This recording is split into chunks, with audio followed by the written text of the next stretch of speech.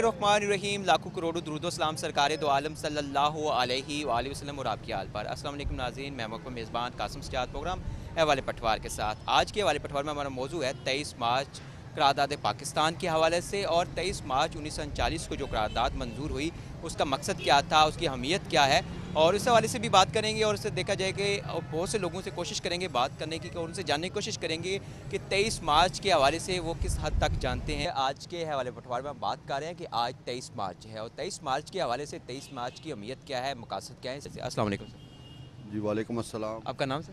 तारिक मजीद खोखर। मैं Pakistan overseas community Pakistan chapter का मरकजी नायब सदर हूँ और Pakistan media Pakistan media council का वाइस चेयरमैन हूँ। आज तेईस मार्च है और तेईस मार्च को एक दिन मनाया जाता है। इस दिन की अहमियत क्या है? इस दिन की अहमियत यह है कि डॉक्टर अलामा मोहम्मद इकबाल ने इस करारदाद को पेश करने के लिए लाहौर का इंतखब किया था, क्योंकि कायद अजम मोहम्मद अली जना सर सैद अहमद ख़ान, सरदार अब्दर, अब नश्तर, इन तमाम लोगों ने इंडिया में तमाम पार्टियों में शमूलियत इख्तियार करके दो कौमी नज़रिए को जन्म देने का एक जो ख्वाब सोचा था। वो जब पूरा नहीं हुआ, उसके बाद हमें इस करारदाद 1940 में इस करारदाद पाकिस्तान को मंजूर करना पड़ा, जिसके नतीजे में आज मुसलमान कौम पाकिस्तान की सूरत में यहाँ मौजूद है और हिंदुस्त, भारत में हिंदू, सिख और दूसरी कौमें वहाँ भी मौजूद हैं, लेकिन फिर भी हमारी हिंदुस्तान में भी आज भी मुसलमान मुसलमान होने के नाते से हमें बरतरी हासिल है।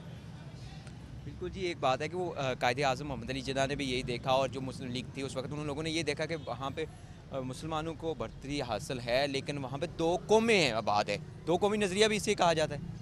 दो कौमी नज़रिया के तहत ही हमने अलहदा होना था, क्योंकि एक जगह दो कौमें नहीं रह सकती, उसी की वजह से पाकिस्तान मार्ज वजूद में आया। इस ज़मन में जब करारदाद पाकिस्तान के लिए कायद मोहम्मद अली जना लाहौर ट्रेन पर आए, लखनऊ से वो लाहौर में आए तो उन पर फूलों की इतनी पत्तियाँ निशावर की गई और सत्तर अस्सी हज़ार बंदों ने उनका इस्तकबाल किया, जिससे पाकिस्तान के बनने को तकवीत मिली और पाकिस्तान की अहमियत का पूरी दुनिया में एहसास हुआ।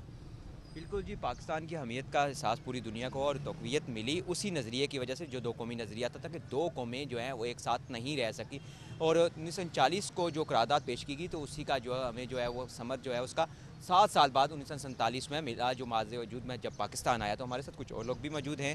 तो उनसे बात करते हैं। हम असल जी वालेकुम अस्सलाम। आपका नाम?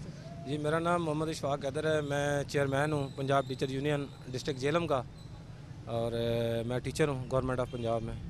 माशाल्लाह, आप सर एक उस्ताद हैं और उस्ताद का एक रुतबा है। उस्ताद ने ही बहुत सा दर्स भी देना होता है बच्चों को। और तेईस मार्च के हवाले से, ज़ाहिर है पहले तो बहुत सी तकरीबात भी स्कूलों में होती थी, लेकिन ऐसे कोरोना वायरस की वबा की वजह से जो है वो, जो है मुलवी करनी पड़ी, जिसकी वजह से जो है बहुत से काम, जो रुके भी, ऐसी तकरीबात भी। आप भी बच्चों में ये अमियत उजागर करते होंगे तेईस मार्च के हवाले से। तेईस मार्च की करारदाद मकासद क्या थे? जी, तेईस मार्च 1940 की करारदाद से पहले मैं थोड़ा सा इसका पस मंज़र बयान करना चाहूँगा। इससे पहले 1933 में चौधरी रहमत अली ने पाकिस्तान का लफज इस्तेमाल किया। उससे पहले जो है, खुतबा इलाहाबाद में अलामा इकबाल ने ये जो दो कौमी नज़रिया पेश किया। ये इसका पसमंदर है, बल्कि इसकी बुनियाद बने। क्योंकि उस वक्त ये होना शुरू हो गया था कि हिंदू चूँकि वहाँ पे अक्सरियत में थे और वो मुसलमानों के ऊपर गलबा चाह रहे थे और मुसलमानों के ऊपर अपने हिंदुआना जहन और हिंदुआना तासब वो जो है ना, उसके ऊपर मुसलत करना चाह रहे थे। यहाँ तक कि वो कह रहे थे कि गांधी की मूर्ति को आप सलाम करें, बंदे मातरम का तराना पड़े ये चीज़ें मुसलमानों के लिए नाकबिल कबूल थी। बल्कि वो ये कहते थे कि मुसलमान अगर उनके किचन या रसोई में चला गया तो हमारा वो बरछट हो गया, यानी प्लीद हो गया। तो जब इस तरह की चीज़ें डिस्क्रिमिनेशन इस तरह का तफावत, ये चीज़ें होने लगी तो मुसलमानों ने सोचना शुरू किया कि हमारे लिए एक अलहदा वतन होना चाहिए, जहाँ पर हमें मजहबी, माशरती हर किस्म की आज़ादी हो। तो फिर ये इसी तसलसल में आगे 23 मार्च 1940 को इकबाल पार्क, जो पहले मंटो पार्क था, अब ये इकबाल पार्क है। ये बिल्कुल मीनार पाकिस्तान के नीचे ये करारदाद पेश की गई। ए के फजल हक, शेर बंगाल ने ये करारदाद पेश की उसकी सदारत कायद अजम रहमत ने की। उसमें ये बेगम मौलाना मोहम्मद अली जौहर, आई आई चंद्रीगढ़ और मौलाना हमदानी जैसे और बड़े रहनुमा जो थे, वो उस वक्त मौजूद थे। उन्होंने ये करारदाद पेश की और तकरीबन बर सगीर से बहुत बड़ी तादाद में मुसलमानों ने इसमें शिरकत की। और ये तय पाया कि हमें एक अलहदा वतन हासिल करना चाहिए, जहाँ पर हम अपनी आज़ादी के साथ रह सकें, अपनी मजहबी आज़ादी के साथ, माशरती आज़ादी के साथ। हम वहाँ पे हिंदुओं के जेर असर नहीं रह सकते, वरना वो हमें हमें ऊपर नहीं उठने देंगे, हमें मुलाजमतों में और दीगर मैदानों में ऊपर नहीं आने देंगे वो। जब ये करारदाद पेश हुई तो उसे 22 मार्च को भी एक इजलास वहाँ पे हुआ। तो खाकसारों पर जो है, दफ़ा 144 नाफज थी तो फिर भी उन्होंने एक इजलास वहाँ पर जुलूस निकाला। तो वहाँ पे हादसारों पे जो है वो गोलियाँ चलाई गई तो वो बहुत से हादसा शहीद भी हुए। लेकिन उसके बावजूद तेईस मार्च उन्नीस को कायदे अजम ने वहाँ पे इजलास रखा। जी जी। बिल्कुल जी, ये एक जज्बा था। वहाँ पे हर बंदा जो है, उस मुल्क के लिए, नए नो मौलूद मुल्क के लिए, कट मरने के लिए तैयार था। ये एक वो जज्बा था, वो कहते हैं, हम ले लेके रहेंगे पाकिस्तान, बन के रहेगा पाकिस्तान। ये वो जज्बा था जो हर बर सगीर के मुसलमान के अंदर था। देखिए कायद अजम जो थे, वो बाहर से आए थे, वो मोस्टली ज़्यादातर अंग्रेज़ी में स्पीचेस करते थे। बीबीसी के नुमाइंदे ने पूछा कि, आपको ये समझ आ रही है, ये कायद अजम क्या कह रहे हैं? वो कहते हैं, हमें ये पता कि ये जो कह रहे हैं, बिल्कुल ठीक कह रहे हैं। ये उनका उनके ऊपर यकीन था कि हमें ये जो हमारा कायद है हमें सही मंजिल पे लेके जाएगा और वो मंजिल हमारी पाकिस्तान थी। बिल्कुल जी जो कायद अजम के जो ख्वाब था या लामा इकबाल का जो ख्वाब था वो जो जज्बा था वही जज्बा जो है वो पाकिस्तान माज वजूद में आया। उसी जज्बे के तहत बहुत से लोगों ने अपनी जानों के नजराने भी पेश किए। हमारे साथ और भी एक मौजूद हैं। हम इनसे भी बात करते हैं और इनसे जानने की कोशिश करते हैं जी। इसी हवाले से असल वालेकुम। सर आपका नाम? अख्तर इकबाल अहमद जनाब। मैं पंजाब टीचर एसोसिएशन का नायब सदर हूँ डिस्ट्रिक्ट झेलम का। जी अख्तर इकबाल अहमद टीचर हूँ मैं। अच्छा आप भी टीचर हैं और आप माशाल्लाह बच्चों को भी दर्स देते होंगे। तेईस मार्च के हवाले से आप और इसके बाद हमारे चौदह अगस्त है बहुत से हमारे तारीखी जो दिन है। और बहुत से अब भी हमने देखा है कि बहुत से लोग इस चीज़ से रशनास नहीं हैं। तेईस मार्च की अहमियत से नहीं वाकिफ़। वो यही कहते हैं कि ये एक दिन है छुट्टी का दिन है या वो परेड होती है बस ये चीज़ें। बच्चों में एक शहूर पैदा करना, उनको बताना कि हम तेईस मार्च की सिर्फ़ छुट्टी नहीं, इसके पस मंज़र क्या है कि इन कुर्बानियों की वजह से और मकसद क्या था इस दिन का और इस दिन को हम क्यों मनाते हैं? बिल्कुल जी, आपने कुर्बानियों की बात की तो अगर हम थोड़ा गौर करें, इस पे से स्टडी करें तो पता चलता है कि हमारी माओ, बहनों, बेटियों ने कितनी कुर्बानियाँ दी। और ये पढ़कर भी रोंगटे खड़े हो जाते हैं हमारे कि जब पाकिस्तान बन रहा था तो तारीख ये हमें बताती है कि बापों के सामने उनके, उनकी बेटियों की असमत दरी की और जो आमला औरतें थी, उनके पेटों से बर्शियाँ मार के उन्होंने अपने, उनके पेटों से बच्चे निकाले और इस तरह खड़ा कर दिया और हर चीज़ छोड़ के वो अपनी जायदादें सारा कुछ छोड़ के फिर वो उन्होंने पाकिस्तान के लिए इतनी कुर्बानियाँ दी कि वो सब कुछ छोड़ने के बावजूद एक ही नारा लगाते थे कि पाकि लेके रहेंगे पाकिस्तान बन के रहेगा पाकिस्तान। अगर उन कुर्बानियों को मद्देनज़र रख, रखा जाए तो ये हमारे अशर अशीर भी नहीं जो आम है। आम तो पाकि जो पाकिस्तान मैं बच्चों को कई बार बताया कि जब पाकिस्तान बन गया 1951 में 16 अक्टूबर उन्नीस सौ इक्यावन को जब लियाकत अली खान शहीद हुए, जो मुखलस तरीन लीडर थे, पाकिस्तान बनाने में एक जागीरदार थे, और वो बिल्कुल जब उनकी, वो उतारी की कमीज तो नीचे उनके बास्कट में चंद रुपए थे। सारा कुछ पाकिस्तान के लिए कुर्बान कर दिया। आज हम पाकिस्तान के लिए क्या कर रहे हैं? पाकिस्तान बना, अखुवत से, मोहब्बत से, भाईचारे से और खलूस से। आज क्या हमारे अंदर वो खलूस है? क्या हमारी सियासी क़्यादत के अंदर वो खलूस है? क्या हमारे कराम के अंदर ये खलूस है? उन सब में इतात था। वो सब मिल के पाकिस्तान बनाते रहे। क्या आज वो सबक हमें मिल रहा है? आज जिस बच्चे से पूछो, वो कहता है जी, फलां फलां फलां, हमें कायद अजम रहमतुल्लाह की मुखलसाना कोशिश और सारे पाकिस्तानियों की मोहब्बत जो उन लोगों में मौजूद थी, उसको मद्देनज़र रखना होगा कि क्या हम इस पाकिस्तान को क्या दे रहे हैं। अगर देना है तो आज भी हमें अच्छा लीडर मिल जाए और अच्छे उस्ताद मिल जाएँ, अच्छे उलमा मिल जाएँ, सबको मोहब्बत का सबक दें, जो कायद अजम रहमतुल्लाह ने दिया। जी, आज का दिन अगर देखा जाए तो तजीद अहद का दिन भी है। हमें एक अहद करना है। पाकिस्तान तो हमें हासिल हो गया, लेकिन हमें इसके लिए, इसकी तरक्की के लिए भी बहुत कुछ करना है। जो हमें कुर्बानियाँ हमारे बड़ों ने दी, अब भी हमें इन कुर्बानियों की हमें ज़रूरत है। हम कुर्बानियाँ देंगे तो इस पाकिस्तान को तरक्की की राह पे कामजन कर सकेंगे और शर पसंदों से बचा सकेंगे। यहाँ हम लेंगे मुख्तर वक्फा वक्फे के बाद दोबारा हाजिर होते हैं और मुख्तलिफ़ लोगों से मिलते हैं और उनसे, उनकी राय भी जानने की कोशिश करते हैं। नाजरीन मुख्तर वक्फे के बाद एक बार फिर हाजिर हैं हवाले पटवार में। जैसे कि आज के हवाले पटवार में हम बात कर रहे हैं, तेईस मार्च के हवाले से। तेईस मार्च उन्नीस को जो करारदाद मंजूर हुई थी जो एक अलग वतन की, पाकिस्तान की जो पेश की गई थी कि पाकिस्तान एक अलग वतन होना चाहिए, जहाँ पे सिर्फ़ मुसलमान जो है अक्सरियत में हों। और यहाँ पे जो है आज़ादी से जो है वो सांस ले सकें। इसी हवाले से इस वक्त हमारे साथ यहाँ पे एक और शहरी मौजूद हैं।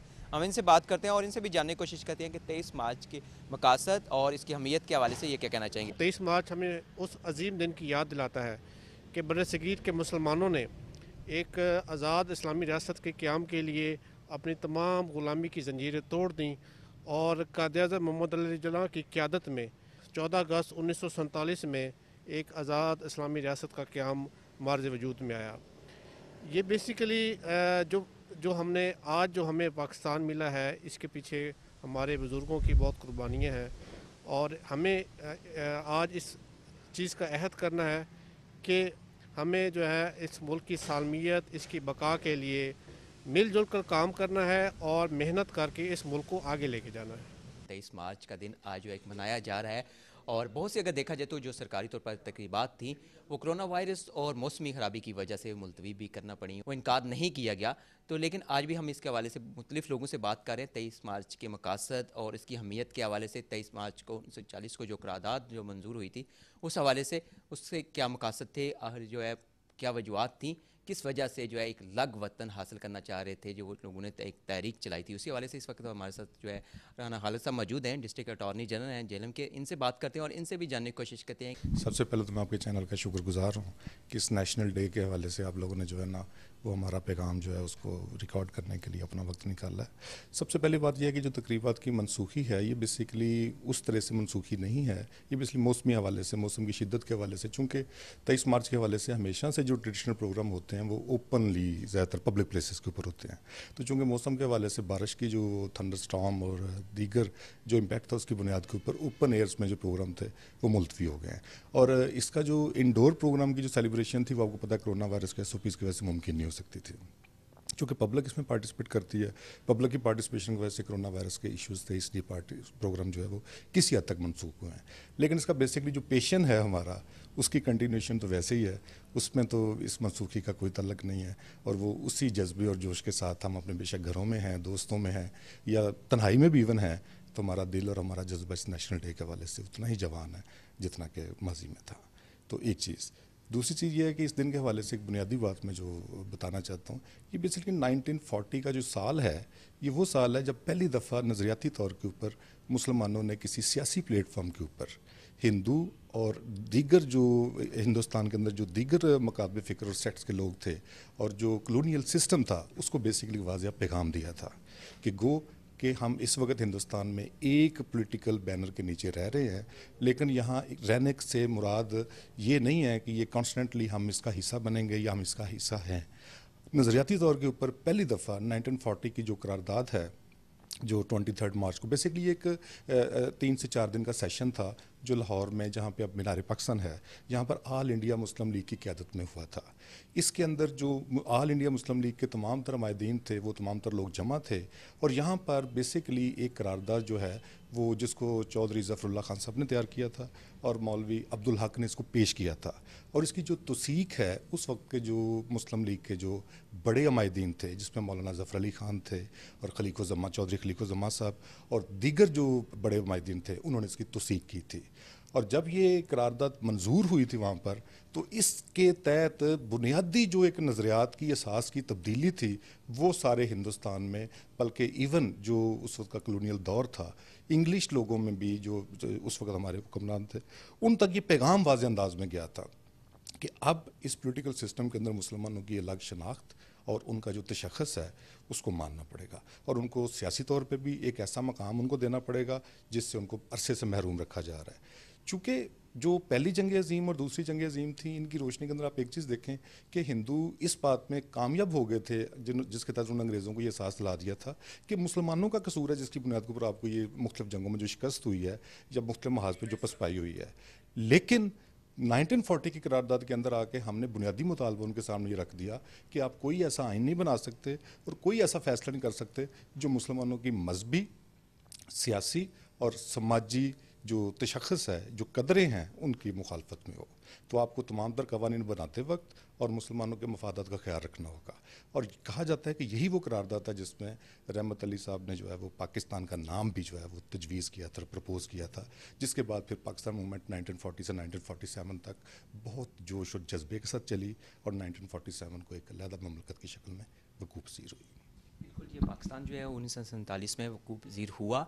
लेकिन अब भी हमें इस पाकिस्तान को तरक्की की राह पर लाने के लिए किस हद तक हमें अपनी किरदार अदा करने की ज़रूरत है? क्योंकि आज एक तजीद अहद का दिन भी है। बेसिकली इसमें एक असम एक बुनियादी बात ये होती है कि किसी भी कौम की जो असास है, वो अदारों से बनती है। और अदारों के अंदर बुनियादी करदार जो होता है, वो एजुकेशन इंस्टीट्यूशंस का होता है। जहाँ से आप बहुत छोटी उम्र से ही जो है, वो लर्न करते हैं और अपनी नज़रियाती असास को बुनियाद बनाते हैं। वहीं से आपकी बुनियाद बनती है। तो हमारे जितने भी तलीमी इदारे हैं यहाँ हमारा जो सिलेबस है, पहली बात है कि उसके अंदर जो इस्लामिक आइडियालॉजी का जो सब्जेक्ट ऑलरेडी पढ़ाया जाता है, या या जो पाकिस्तान जो इसकी जो पोलिटिकली जो इसके सिलेबस है जो उसके कंटेंट्स हैं, उनको थोड़ा मज़ीद इम्प्रूव करने की ज़रूरत है।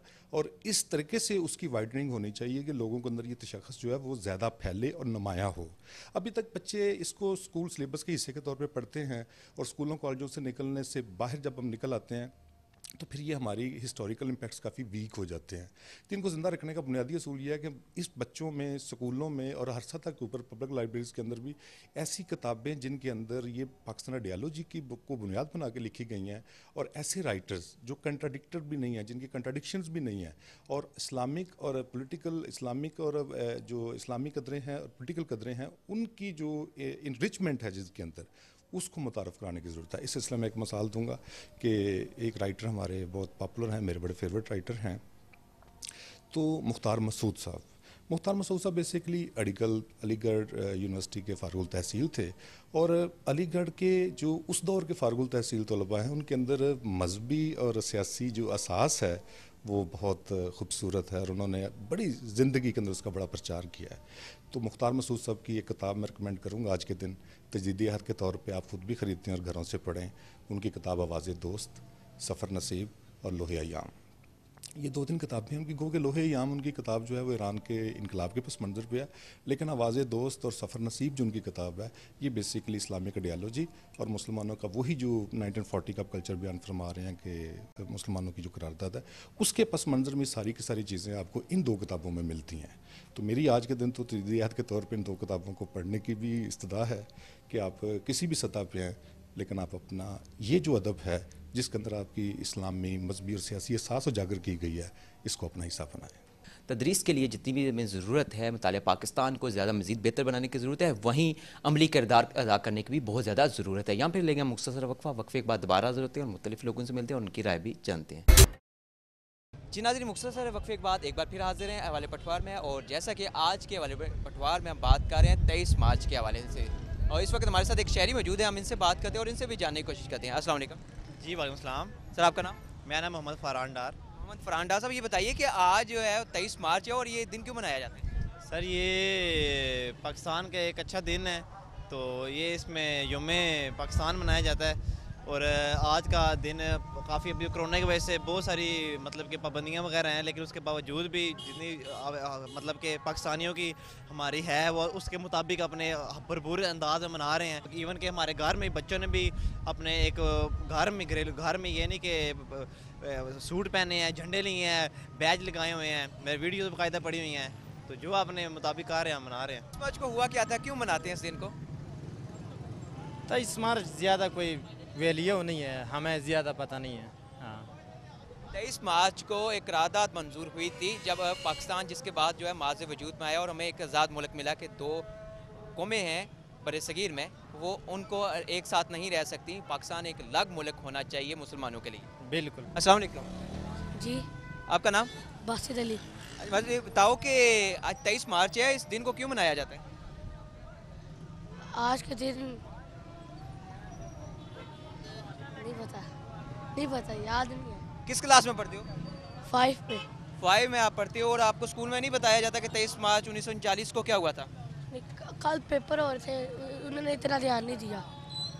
नहीं आप फाइव में पहुँच गए अभी तक नहीं पता चला। तेईस मार्च उन्नीस को एक करारदाद मंजूर हुई थी जो लाख वतन के लिए उसके बाद फिर हमारा ये वतन पाकिस्तान माज वजूद में आया। पेपर और थे वरना हर साल बताते हैं इस साल भूल गए तो पे। अच्छा आपको हर साल बताते हैं लेकिन फिर भी आपको याद नहीं कि तेईस मार्च उन्नीस सौ चालीस को क्या हुआ? जिस सबक याद याद कर कर के काल भी इतना सबक याद किया तो भूल गया था।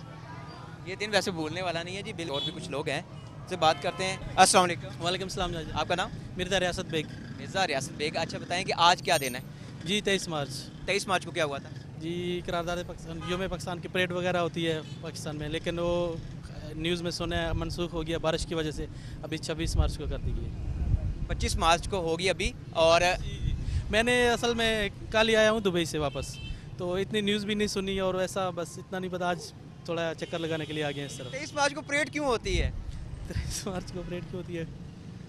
हम्म, नहीं नेशनल डे चौदह अगस्त को होता है। तेईस मार्च को तो भूल गए भूल गए हैं। अच्छा जी आप बताएँ जी तेईस मार्च को क्या हुआ था? तेईस मार्च को करारदादें मंजूर हुई थी पाकिस्तान की और मनसूबा बनाया गया था उस वजह से। किस चीज़ का मनसूबा बनाया गया था? पाकिस्तान तेईस मार्च को करारदाद पाकिस्तान मंजूर हुई थी तो उस वजह से परेड मनाई जाती है पाकिस्तान के हवाले से। और नेशनल डे है नेशनल डे तो नहीं है इसका स्पेशल डे है तेईस मार्च उसमें परेडें वगैरह होती हैं तो अच्छे तरीके से ये तेईस मार्च मनाया जाता है। जी। बिल्कुल जी देखा जाए तो बहुत से लोग जो हैं वो यही समझते हैं कि तेईस मार्च को जो है वो सिर्फ़ जो है वो परेड ही मनाई जाती है या इस दिन को मनाया जाता है। बहुत से लोग जो हैं तेईस मार्च की अहमियत या इसके मकसद से जो है वो रोशनास नहीं है वाकिफ़ नहीं है कि तेईस मार्च की क्या अहमियत है किस हवाले से ये मनाया जाता है। वालेकुम जी। जी वालेकुम आपका नाम? मोहम्मद अरशद। मोहम्मद अरशद ये बताएँ कि आज तेईस मार्च है और तेईस मार्च को परेड क्यों होती है? पाकिस्तान का दिन मनाया जाता है। तेईस मार्च को क्या हुआ था? देखा जाए तो बहुत से लोग जो हैं वो इस दिन से नावाकिफ़ हैं और इस वक्त हम देख रहे हैं यहाँ पे शहर में एक हमारे साथ एक नबीना शख्स भी मौजूद हैं। तो इनसे भी बात कर लेते हैं। अस्सलाम वालेकुम सर। वालेकुम सलाम। सर आप जो है कुत सारत से महरूम भी हैं और ये आज तेईस मार्च है और तेईस मार्च के हवाले से क्या कहना चाहेंगे ये दिन क्यों मनाया जाए? बहुत से लोग तो इस दिन से नावाकिफ़ हैं। मेरे ख्याल में जी वाकफ़ होना चाहिए क्योंकि हमारी तारीख अहम तरीन दिन है। और इस दिन को पूरी कौम ने एक अहद किया था कि हम एक ऐसी जिद्दोजहद करके एक ऐसा रियासत हासिल करेंगे अल्लाह ताला की मदद से, जहाँ पे हम अल्लाह ताला के बताए हुए कवानीन और उसके प्यारे नबी करीम वसल्लम के बताए हुए सूलों को लागू करेंगे। तो इसका हमने अहद किया था और उसी के लिए बरसगीर के मुसलमानों ने कोशिश की थी। और ये तो है हर एक मुसलमान के दिल में इस बात को याद रहना चाहिए और याद होगा भी ये नई नस्ल है शायद इसकी तरफ़ ज़्यादा पढ़ाया नहीं जा रहा। हमें चाहिए गवर्नमेंट को चाहिए कि जो सिलेबस में इस हवाले से जो कंटेंट है उसको ज़्यादा ज़्यादा बढ़ाए ताकि यहाँ के बच्चों को यहाँ के लोगों को अपनी तारीख का अहम तरीन जो दौर है वो वक्त है जो इस मुल्क की बुनियाद का सबसे अहम मौका था वो इनको याद रहे। अस्सलाम वालेकुम जी वालेकुम सलाम। आज क्या दिन है? आज जनाब सानू आपको नहीं पता। आज तेईस मार्च है और तेईस मार्च को क्या हुआ था? पाकिस्तान आज़ाद होया सी। पर दी गई बुज़ुर्गों की कुर्बानियाँ लाजवाल हैं। आज हम जो खुली फ़िज़ा में सांस ले रहे हैं, आज जो हम अपने दौर की ज़िंदगी जी रहे हैं, ये उन्हीं कुर्बानियों का नतीजा है। चूँकि मेरा तल्लक महकमा जंगलात से है तो इस हवाले से मैं कहना चाहूँगा कि आज इस तजदीद अहद वफा के दिन आए हम सब मिलकर अहद करते हैं। कि इस वतन को सरसब्ज व शादाब बनाने के लिए ज़्यादा से ज़्यादा दरख्त लगाएँ, ताकि फ़ज़ाई आलूदगी का भी ख़ात्मा हो सके और मुल्क की मीशत में भी बेहतरी आ सके। जी नाजरीन, जैसे कि आज के हवाले पटवार में हम बात कर रहे हैं, तेईस मार्च के हवाले से। तेईस मार्च 1940 को जो करारदाद मंजूर हुई थी, उसके मकासद अहमियत उसके हवाले से, और उसके साथ देखा जाए तो एक ये समझा जाता है, तेईस मार्च को एक तजीद अहद का दिन भी कहा जाता है। आज हमने एक अहद करना है कि इस मुल्क की तरक्की के लिए हमें हमें कितनी ज़रूरत है, कितनी हमें इस पर मेहनत करने की ज़रूरत है और यहाँ पे हमें अपना हर किसी को किस हद तक किरदार अदा करने की ज़रूरत है। इसी हवाले से हमारे साथ अभी एक शहरी मौजूद हैं। हम इनसे बात करते हैं और इनसे भी जानने की कोशिश करते हैं कि आज के दिन के हवाले से ये क्या कहना चाहेंगे। असल जी, वालेकुम अस्सलाम। मैं आज के दिन के हवाले से ये कहना चाहूँगा कि आज के दिन हम सबको ये अहद करना चाहिए कि चाहे हमारा तल्लक किसी भी जमात से हो ठीक है, किसी भी पॉलिटिकल पार्टी से हो, हम सबको एक पेज पे आके इस मुल्क की तरक्की के लिए काम करना चाहिए। अब हमें इस मुल्क के बारे में सोचना चाहिए, ना कि इंडिविजुअली सोचना चाहिए। और आज के हवाले से मैं एक, आपकी इजाज़त से एक सॉन्ग तमाम पाकिस्तानियों को डेडिकेट करना चाहूँगा, ठीक है? और उम्मीद करता हूँ कि आपको वो सॉन्ग पसंद आएगा। मिली नगमा है पाकिस्तान का। ए वतन, प्यारे वतन। ए वतन, प्यारे वतन, पाक वतन पाक वतन। ए मेरे प्यारे वतन ए वतन, प्यारे वतन, पाक वतन पाक वतन। ए मेरे प्यारे वतन ए वतन, पाक वतन। तुझसे है मेरी तमन्नाओं की दुनिया पुरनूर। अज़्म मेरा कवि मेरे इरादे हैं गयूर मेरी हस्ती में अना है, मेरी मस्ती में शऊर। जा फिजा मेरा तखयल है तो शीरी है सुखन, है वतन प्यारे वतन, है वतन प्यारे वतन, पाक वतन पाक वतन, है मेरे प्यारे वतन, है वतन, पाक वतन। थैंक यू वेरी मच आपका जी। बहुत शुक्रिया जी, बिल्कुल है, पाक वतन पे कुर्बान हमारी जान सा और ये एक वतन हमें लाखों कुर्बानियों के बाद मिला, हमारे बाजात ने बहुत ज़्यादा कुर्बानियाँ दी, खून की नदियाँ बहाई गई तो उसके बाद ये वतन हमें हासिल हुआ। तेईस मार्च के हवाले से हम बात करें तो तेईस मार्च उन्नीस को एक करारदाद मंजूर हुई थी, जिसके बाद जो है पाकिस्तान वजूद में आया। पाक को हिंद में जो है दो कौमें बात थी, हिंदू और मुस्लिम, जो कभी भी एक नहीं हो सकती थी, जिनका रहन सहन जो है वो अलग था, हर चीज़ वो अलग थी, मज़हब अलग थे।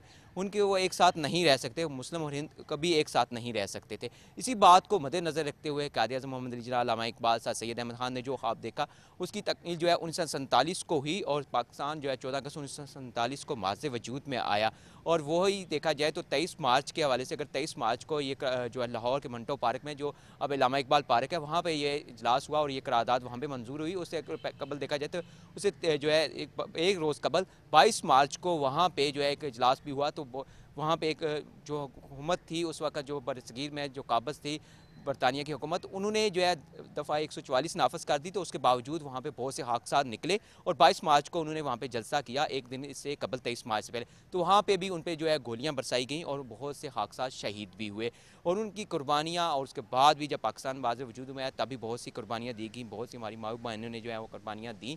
हमारे बुज़ुर्गों ने कुर्बानियाँ दी, खून की नदियाँ बाई गई तो तब ये मुल्क वाज वजूद में आया। लेकिन वतन हमारा आज़ाद हो चुका है। हम आज तेईस मार्च को भी मनाते हैं, चौदह अगस्त को भी मनाते हैं, लेकिन हमें आज इस दिन के मुताबिक से तेईस मार्च के दिन मज़ीद भी ऐद करना है कि हमें इसकी तरक्की के लिए बहुत सा काम करना पड़ेगा। बहुत सी भी मेहनत की ज़रूरत है। इसमें इस पाकिस्तान को माज वजूद आने के बाद से लेकर अब तक अगर देखा जाए तो इस अभी हमारी जो अफवाज पाकिस्तान, हमारी फोर्सेस जो है, बहुत सी कुर्बानियाँ दे रही हैं, जो मुल्क दुश्मन अनासर हैं उनसे इसको पाक करने के लिए, उनके नापाक इरादों के लिए, जितने भी इरादे हैं उनको पसपाक करने के लिए। देखा जाए तो हर शुबा ज़िंदगी के लोगों को इसके लिए जो है वो मेहनत करनी होगी, बहुत सी अपनी कुर्बानियाँ देनी होंगी और बहुत सी जो है वो तरक्की की राह इसको गमजन करने के लिए ज़रूरत है हमें। और अगर देखा जाए तो बहुत से ऐसे लोग हैं, आज भी जो इस दिन से जो है रोशनास नहीं है। लोगों का यही कहना है कि ये एक दिन छुट्टी का दिन है और इसके साथ देखा जाए तो तेईस मार्च को क्या हुआ तो बहुत से लोग इससे भी इस अमीर से वाकिफ़ नहीं है। आज के वाले पटवार में इतना कुछ ही है। जब भी खुदा के हजू सजदा रेज हूँ, अपने इस बाईस बेटे को दुआ में याद रखना। खुदा हाफिज़।